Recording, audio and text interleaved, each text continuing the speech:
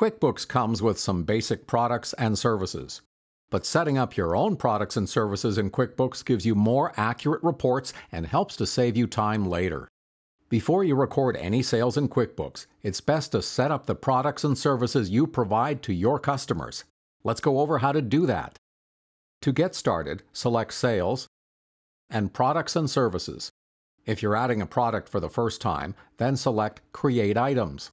If you've already set up products, select New. Select the type of product from the drop-down. Services are any services that you sell to your customers. If you manage your inventory with QuickBooks, then you can select an inventory product here. Non-inventory products are physical things you sell, but you don't keep track of exactly how many you have.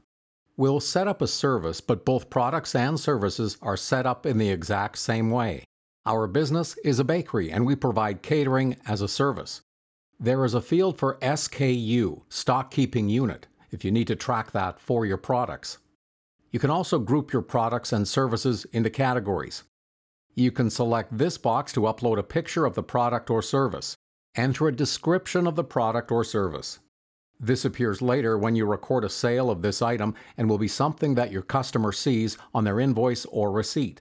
The price and rate field lets you record what you charge customers for this service. You can leave it blank, but recording your default price or rate saves you time later. We charge $50 per person for catering. The income account is the account that QuickBooks uses to categorize sales income for this service. You'll see it on your profit and loss statement, and over time it tracks how much income you've generated from this service and others like it. You don't need a different income account for each product or service, just for whatever categories you want to keep track of. For example, we want the income from this service to go to catering services income. If sales tax is turned on, you can also select whether or not to charge tax for this product or service. If you need to update a purchase item, you can do that by checking this box so that you can update your purchasing information like purchase cost, expense account, and preferred supplier. Once you're done, select Save and Close.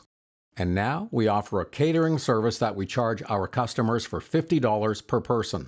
If you need to add multiple products and services, you can copy them or batch import them all from a spreadsheet instead of adding them one by one. Go to the Products and Services page and select Batch Import. If you have an Excel file, select the Import CSV Excel option here select Browse and select your Excel sheet. Select Next. Then map the fields in your spreadsheet with the fields in QuickBooks. Select Next, and all these products and services will be added to QuickBooks. If everything looks good, select Save. Now try setting up your own products and services in QuickBooks.